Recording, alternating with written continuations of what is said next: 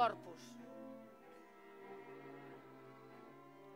Toquen les trompetes, venen els soldats avançant en amples rengles virulats. Alta la bandera, lluç sobre l'estol, altes lluentotes, les armes al sol. Travessen la ciutat al mig del dia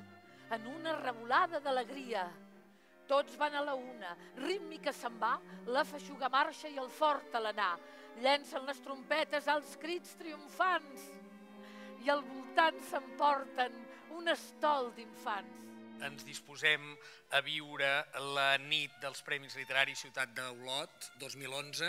Benvinguts, doncs, a tots. Aquests Premis Literaris formen part del cicle Temps de Paraules, que dura tot el mes d'abril i que aquest any està dedicat justament a Joan Maragall i d'aquí aquest lligam amb aquest eh, esplèndid recital que acabem de viure ara mateix. La nit dels Premis Literaris és per donar tres premis literaris, eh, en sabrem, en coneixerem els veredictes eh, atorgats per l'Ajuntament d'Olot, del Premi Ciutat d'Olot, de novel·la juvenil, d'una banda, del Premi Joan Teixidor d'Aicús, d'una altra banda, i finalment del Premi Marià, o Marian, ja veurem això, Baireda de narrativa més que una novel·la és un estudi antropològic d'un home que es diu Jordi, que el coneixem quan és un quan és menys que un nen, perquè és eh, tot just acabat d'engendrar i que ens acomiadem d'ell quan mor i, i anem veient en tot el decurs de la seva vida doncs, una mica les, les misèries i els egoismes d'aquest homo sapiens que viu al segle XXI. Home, és, és una cosa increïble perquè més és, és per dir-ho d'alguna manera i encara no m'atreveixo a dir-ho així, és, és el meu debut, no? jo no, no he publicat res però és que fins i tot no he escrit res més i aleshores eh, presentar això en un premi i, i que, que te'l donguin i que publiquis una editorial com Empúries doncs és, eh, és que et posin en un núvol i, i ja veurem com baixem.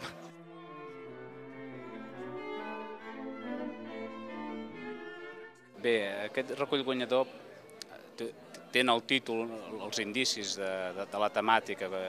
El títol és Persistència del blanc titani en el temps dels ametllers batuts. En el, en el blanc titànic, en el pigment, el que hi ha reflectit és el color blanc, és el color de, de la florida, de l'ametller, és el color de la neu, per tant hi ha una, hi ha una voluntat de captar el paisatge des d'un punt de vista estètica, hi ha una voluntat de pensar en les coses que són velles però fràgils, les coses que són velles però fungibles, velles però petites, i a poc a poc el poemari salta d'aquesta plasticitat, d'aquest captar la imatge a un pensament una mica elegíac, eh? al constatar que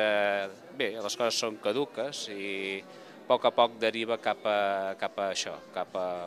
una reflexió una mica existencial, una mica melanconiosa. Home, és un premi prestigiós i, i a més a més jo l'aprecio especialment pel gènere, que és el haiku. És un gènere que sempre he anat treballant, eh, produeixo poc, però sempre el vaig tocant, és, és de tradició japonesa, és un gènere que el considero important i aleshores eh, m'ha fet una especial il·lusió, una especial gràcia guanyar aquest premi eh, centrat en aquest gènere i que a més a més té una rellevància dintre del panorama literari català.